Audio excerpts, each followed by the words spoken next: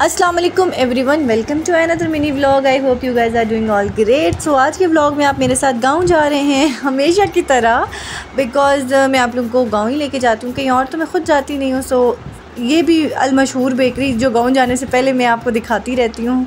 सो so, आज भी हम लोग यहीं पे आ गए थे लेकिन क्योंकि आगे लॉन्ग वीकेंड है तो यहाँ पर भी कुछ ख़ास था नहीं। और मैंने सोचा कि आप लोग बोर हो गए हैं देख देख के तो मैं आपको एक नई बेकरी पे लेकर आ गई हूँ। जी ये हमारे घर के पास एक नई बेकरी ओपन हुई है। And we were going there for the first time और uh, काफ़ी अच्छी चीज़ें थी। भरी भरी हुई बेकरी थी। पता नहीं शायद लोग यहाँ आते नहीं हैं but but it was good अच्छी थी चीज़ें यहाँ पे। अच्छा जी तो आज के दिन की बात करें तो इतनी कोई शदीद ह्यूमिडिटी हो रही है। पिंडी में आप लोग बताएँ आप लोगों के सिटी में कैसा वेदर है? यहाँ पर तो बारिश नहीं हुई है और दो तीन दिन तक फोरकास्ट कोई भी नहीं है बारिश की। सो so, गाँव में तो बहुत अच्छा मौसम हो रहा है बट मेरा बिल्कुल दिल नहीं चाह रहा था बिकॉज़ मुझे बहुत शदीद में ग्रहण हो रही है बहुत हेक्टिक डे था मेरा और अब यहाँ पर fuel filling and tyres check वगैरह हमने करवा लिए हैं और फाइनली हम लोग निकल पड़े हैं रास्ते पर अपने। अच्छा जी रास्ते में फ़्लैग्स वगैरह स्टॉल्स बहुत कुछ था लेकिन इतनी कोई ख़ास रौनक नहीं थी। Maybe this is because of Muharram लेकिन बहुत अच्छी बात है हमें मुहर्रम की रिस्पेक्ट करनी चाहिए। सो so, प्रॉपर वाला अंधेरा स्टार्ट हो गया था एंड बच्चों ने भी चुन चुन स्टार्ट कर दी थी उन्हें भूख लग रही थी बट अभी यहाँ पर जूस वगैरह नहीं था। और ये आपका वेलकम हो गया है कोटी सतियों की हदूद में। ये लें प्रॉपर बत्तियों के साथ वेलकम कर दिया। अब ना कहना अच्छा वेलकम नहीं हुआ।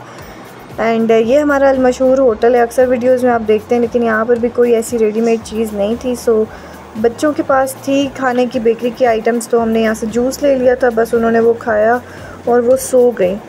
मेरे सर में बहुत शदीद दर्द हो रहा था, इसलिए हम यहाँ होटल पे एक पे रुके थे। ये अभी कोई नया ही बन रहा है बट काफ़ी अच्छा है। लाइक अगर कोई दिन में आए तो वो इसका व्यू एक्सप्लोर कर सकता है। हम लोग रात में थे तो यहाँ पर अभी वैसे उस तरह से लाइट्स वगैरह नहीं इन्होंने लगाई हुई क्योंकि अभी यहाँ पे साथ साथ कंस्ट्रक्शन भी चल रही है। सो so, यहाँ पानी की आवाज़ आ रही थी तो मैं आई थी कि वीडियो बनाऊँ बट नहीं थे अंधेरा था तो मुझे नज़र नहीं आया।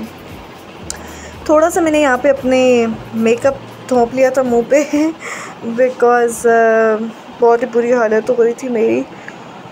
और अब हम लोग अपनी दादी के घर जा रहे हैं। इस टाइम बहुत रात हो रही है और मुझे इतनी नींद आ रही है वॉइस ओवर करते हुए। खाना हम लोग खा कर आए थे इसलिए हम लोगों ने यहाँ पे बस चाय ही पी और सब लोग बैठे हुए थे। एकदम से बस बारिश होना स्टार्ट हो गई और मौसम काफ़ी ज़्यादा ठंडा हो गया।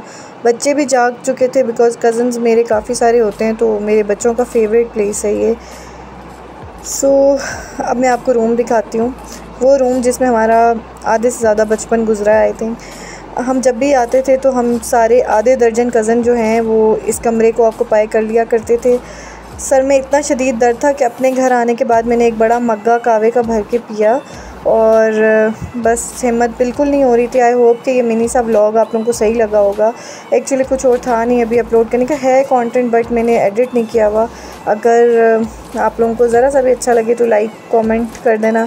हो सके तो सब्सक्राइब भी कर देना। इन नेक्स्ट वीडियो में मिलते हैं। तब तक अपना बहुत सारा ख्याल रखना। अल्लाह हाफिज़। मुहरम की दुआओं में याद रखना। अल्लाह हाफिज़।